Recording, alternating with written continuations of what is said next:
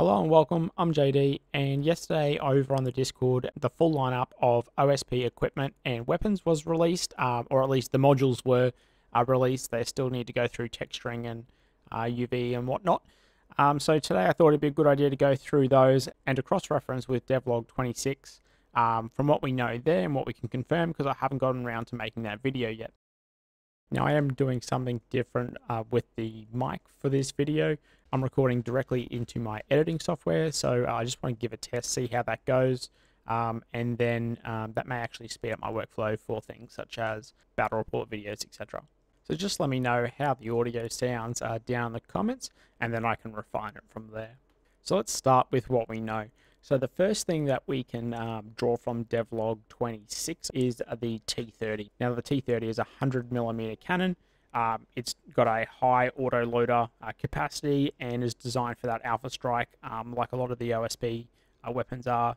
Uh, as Mazer describes, popping out from cover, unleashing a high alpha strike on the enemy, and then being able to break contact and reposition. So we can see it um, within devlog 26, where Mazer shows it up uh, nice and close. And what gives it away, in my mind, is the T30 is that if Mazer shows off the line ships for the OSP, and you can see that um, on the left-hand side, the ship is fully equipped with T-30s, and then you can see the T-30 shape uh, with that distinctive uh, quad cannon setup. And Mazer then also talks about um, the T-30 having a smaller counterpart, so uh, with the T-30 being a Class 4 and then uh, likely a Class 2. You can see that within the uh, images uh, on the screen here. Just based on the size of those squares, you can see that the Class 4 is quite large, and then what I, I assume is the um, the smaller version of the T30 off to the left hand side. Um, you can see how much smaller it is and likely to fit on that small amount. So uh, I'll just play the clip in the background, but you can see that the high rate of fire uh, coming off the aligned ship uh, with the T30, uh, absolutely putting out a huge amount of shots. Now 100 millimeters isn't really going to um, be penetrating too far into a, uh, a battleship, uh, so there will be other things that we will be able to then uh, talk about later on in this that will then, uh, I think, go hand in hand with the um, with the T30 in order to help it bypass the higher arm of the Alliance ships. So the next thing that we can um, identify from Devlog 26 is what Mazer uh, lovingly refers to as the Big Defender and it is quite distinct again.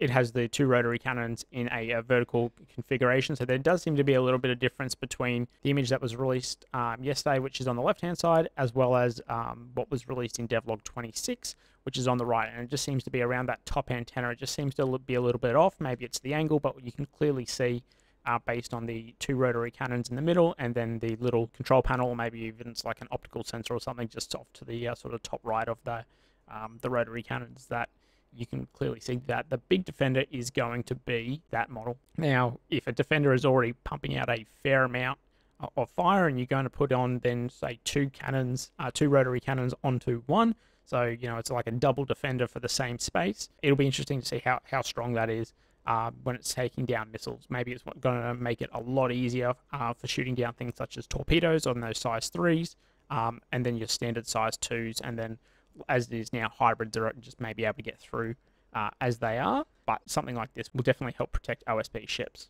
Finally, the last thing that we can sort of 100% say uh, for certain or make an association with is the uh, dumbfire rocket. You can see the, the very distinct MLRS shape, both in a smaller pattern, which is showed off in the devlog, and then the larger pattern uh, next to it being the, um, I, I, imagine just the, the exact same, but it looks like it's got an extra uh, nine torpedoes maybe on it. Let me, if I was to zoom in, so it looks like there's um, a small one with 18, and then you've got a larger one in a 3 by 4 by 3.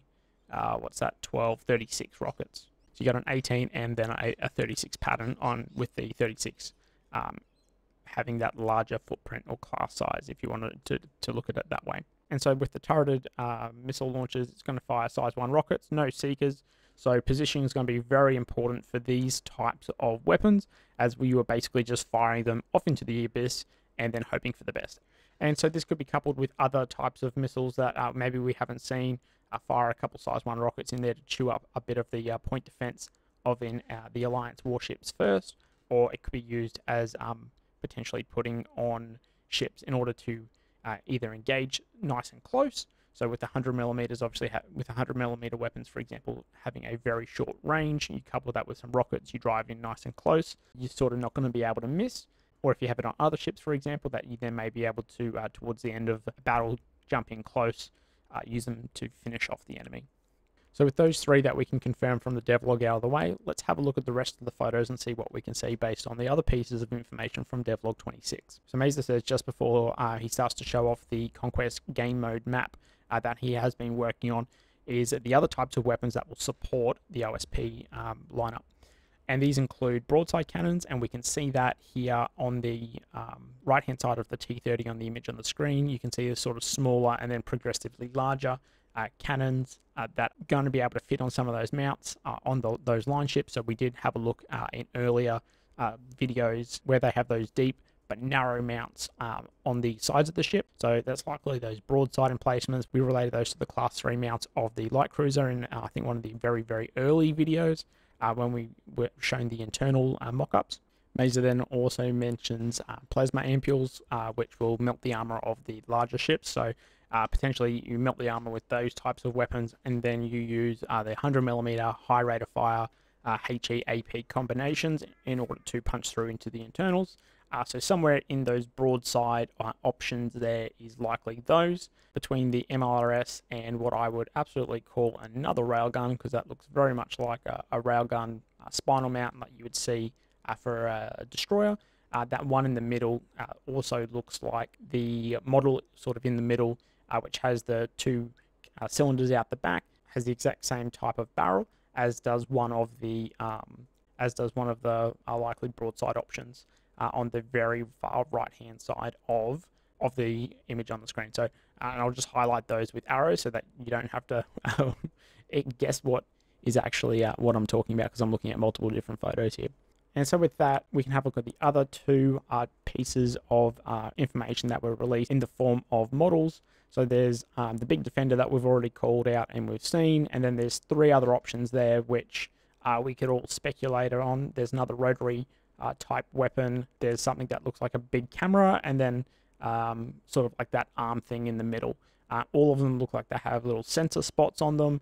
Uh, they all look to be the same size as that class one. So you, if we use the big defender model, um, and we and from what we know of the alliance uh, size one uh, point defense, they all seem to be about the same size, and we're assuming that all the same squares uh, in the background across all the photos here are, are about the same size. So um, these are likely point defense options, but uh, we don't really have anything to go off other than what the alliance point defense options currently are and how they operate. Got any ideas of uh, what these are, what these are? Throw them down in the comments below, and we'll see what happens uh, with the next devlog when it gets released. Uh, this final photo, this is absolutely uh, electronic warfare. You can tell by uh, it's all dishes and um, antennas. So there's obviously a dish on the left-hand side, uh, which could be an jammer or an illuminator or something like that.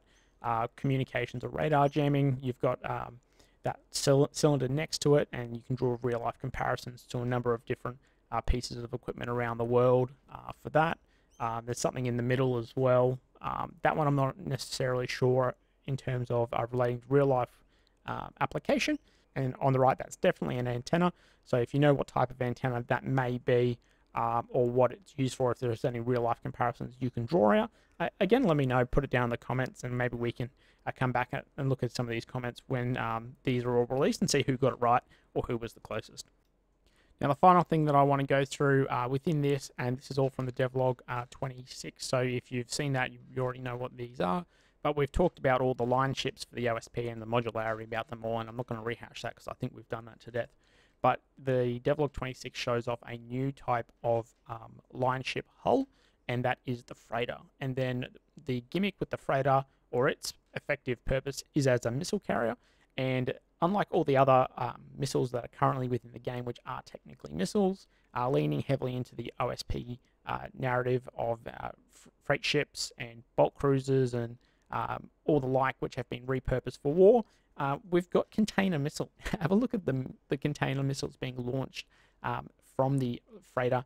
There's um, they're they're quite massive. They uh, look quite interesting. Uh, I would love to see my player logo slapped on the side of that, uh, as it's like JD Shipping Company has come to deliver death.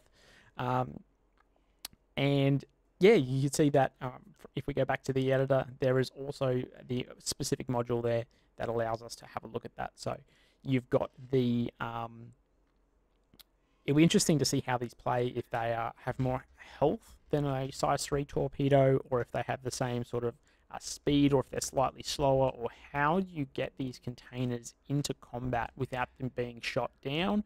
Um, are they just something that you release on mass you know we've got the programming channels um, that are obviously in play as well. So just being able to dump a whole bunch of them um, continuously could become a thing I can't wait to see how this plays out uh, and then, you know, does it have its own particular type of HE warhead? Do we see something different? Does it use the HEKP?